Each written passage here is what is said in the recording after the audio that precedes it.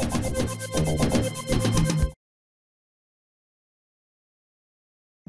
Em 2012, 7 milhões de pessoas morreram devido à poluição do ar, na maioria vítimas da poluição atmosférica, de acordo com a Organização Mundial de Saúde.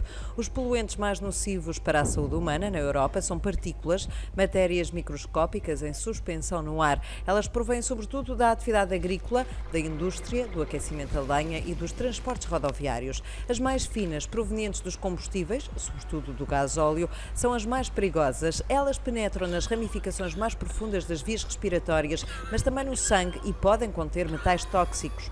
O ozono surge de reações químicas sob o efeito do Sol, implicando vários poluentes emitidos no ar, como os óxidos de azoto e os compostos orgânicos voláteis, solventes ou hidrocarbonetos.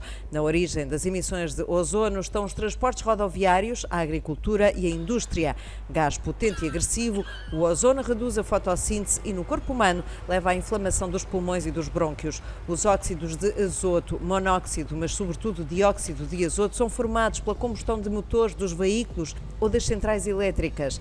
A indústria emite também dióxido de enxofre, benzeno e ainda amoníaco e ainda metais pesados, chumbo, cádmio, mercúrio e arsénico que se acumulam no organismo e podem afetar as funções respiratórias, digestivas e o sistema nervoso.